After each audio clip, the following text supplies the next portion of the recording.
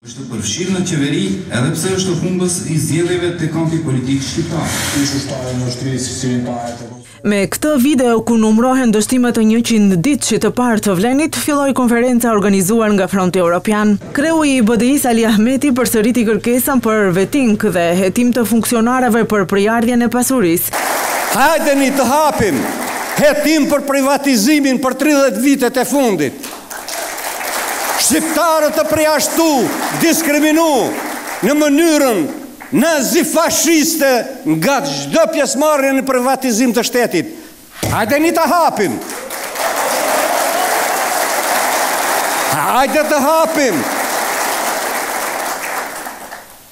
Ziadin Sela i vendosur, tha se protestat nuk janë destabilizim, por demokratizim.